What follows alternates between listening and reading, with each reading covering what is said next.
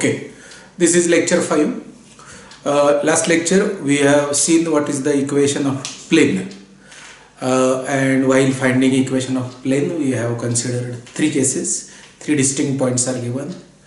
Uh, two points and uh, one vector is given and one point and two vectors are given. In that case we can find out equation of plane and then I had given you to find out the condition for coplanarity of four points and I hope I had finally given the results and you uh, must have proved it by now. Let us solve few problems based on whatever theory that we have developed. Now suppose ABC are non-coplanar uh, vectors and these are the four points position vectors of the four points given in the plane you are supposed to prove that these four points are coplanar. So problem number one, this prove that these four points are coplanar. Pause, try your level best to prove it. It is a simple problem and uh, mostly you will get it. Okay, so pause the video and check it. Answer.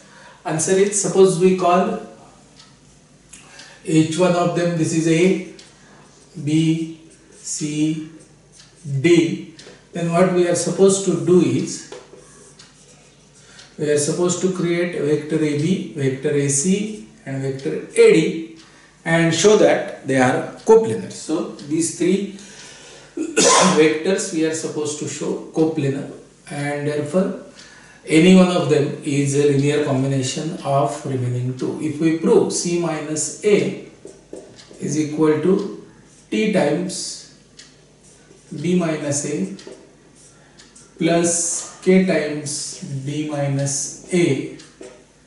Now there is a problem. C means this. We are supposed to write C as this.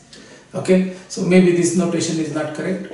So you write it as vector AC is equal to T times vector AB plus K times vector AD if we could prove this by suitable values of t and k, uh, I think we should get the coplanarity and uh, of course you will have simultaneous equations and all those equations must be consistent. Value of t and k that you will find out by using say uh, two equations should be satisfying the remaining equations that you get. This is how you are supposed to solve this problem and I think the numbers are designed in such a way that these are the four coplanar points. So this is problem number one.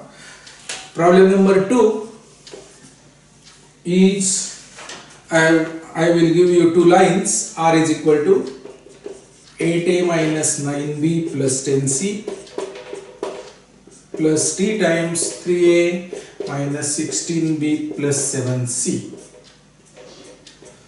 this is line number one and line number two 15a plus 29b plus 5c plus p times 3a plus 8b minus 5c and we are supposed to show are these lines these lines are non-coplanar we are supposed to show show that they are non-coplanar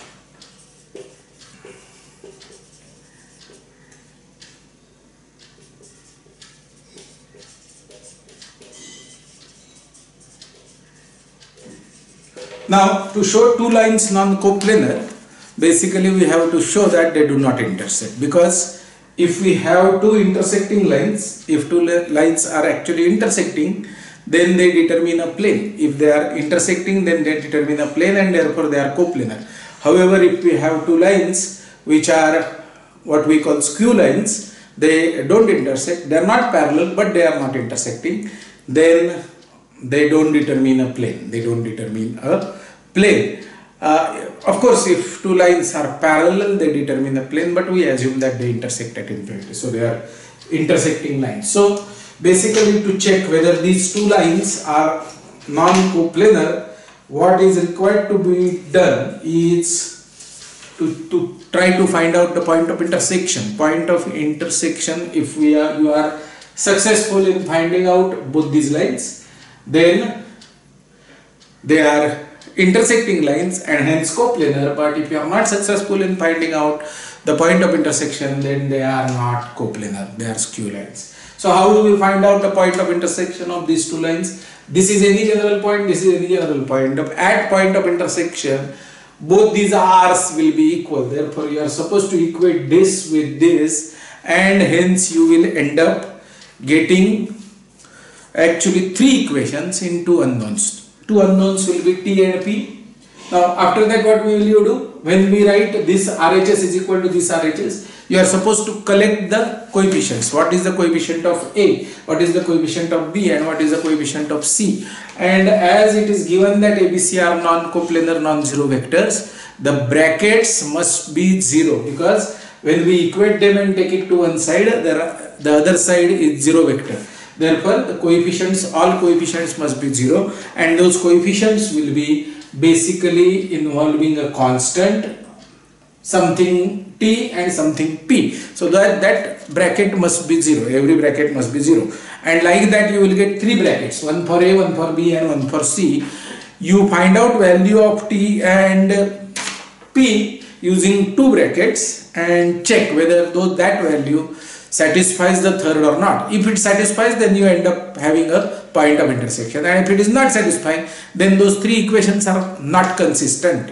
They they do not have uh, the same solution. I mean they the, the, solution set of first two is not the same solution set of second two. So they are not consistent and that means these two lines do not have any point in common. That is how we are supposed to solve question number two. But i think i have not given you any time. I, I, you should have paused the video pause the video the moment I have completed writing this, solve it and then listen to the hint and solution. The third problem is assuming A and C not collinear, examine following lines for their intersection. Okay, so let me give you two lines. You are supposed to find out the point of intersection and check whether it exists or not. So first line A and C are not co collinear uh, vectors. R is equal to 6a minus c plus lambda times 2c minus a. And r is equal to a minus c plus mu times a plus 3c so again exactly similar way you just so pause try to solve this and get the point of intersection okay?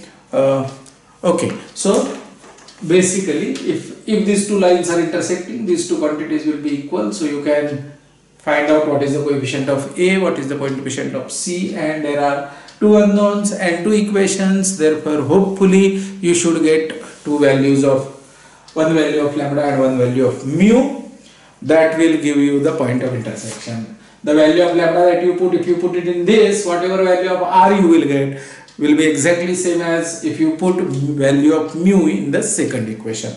And the answer for this point of intersection is 3a plus 5c so you can find out point of intersection. Now the next problem is of finding out point of intersection of line with plane. So i am taking one example of each type and demonstrating how do we go about it? You should solve as many problems as you can. So r is equal to 2a plus b plus t times b minus c. This is of course the equation of line. And r is equal to a plus lambda inside bracket b plus c plus mu times a plus 2b minus c. It is the equation of plane. Now if the line is parallel to the plane, it will not intersect. Else, it should. So, we should get the point of intersection. So, how do we go about finding out point of intersection? Again, pause, try your level best, else see this video. Again, we want to find out point of intersection. Therefore, we equate these two quantities and then try to solve. We will end up having three brackets where we have three unknowns t lambda and mu and hence we should get if those three brackets are good and they give us value of mu lambda and t uh, good real numbers then we should have the point of intersection. And if you do it you will get mu is equal to 1 lambda is equal to 0 and t is equal to 1 which makes the point of intersection 2a plus 2b minus c. So this is going to be the point of intersection of a line and plane. Okay. Now the next problem is find the equation of line of intersection of two planes. So this is the last problem in this series two planes are intersecting now. R is equal to b plus lambda 1 times b minus a plus mu 1 times a plus c. And r is equal to c plus lambda 2 times b minus c plus mu 2 times a plus b. Okay? Now when you solve these two planes simultaneously you are supposed to get equation of line because these two planes will intersect in a line abc are non-coplanar vectors. So how do we go about it now? Again we equate these two. And hence we will end up having something. So pause the video try to do it. Else look at the solution. You will end up having some bracket times a plus some bracket times b plus some bracket times c is equal to 0 and now you have practically four unknowns. Lambda 1 lambda 2 mu 1 mu 2 and each one of these brackets must be 0 to make the 0 vector in RHS therefore even if the equations are good you will be able to get values such that there will be one unknown which will still uh, be remaining and that will help you to get the equation of line. Now that is what is my hint. So what you should do is you should look at all these three brackets and check if there is something which you can simplify and get the values and then the moment uh, you get one of them lambda 1 lambda 2 or mu 1 mu 2 a good value you should substitute it in that and then the remaining part is going to be your equation of line so uh, this is a little difficult but I hope you should be able to do it. Try to look at these three brackets and try to solve them simultaneously. So practically we are doing solving equations simultaneously. And uh, the equation of line the answer that you will get eventually will be r is equal to b plus lambda 1 times b minus a is going to be the equation of line okay? So these are the first four problems. Fifth problem is another simple problem in the notes. You can just go through it. I'm not taking in this lecture. So this is where we have done so far. Uh, equation of line equation of plane and we are just dealing with scalar multiple of a vector or vector addition. We have not defined the multiplication yet. And we should define the scalar product. Scalar product maybe in the next lecture. Next video. Thank you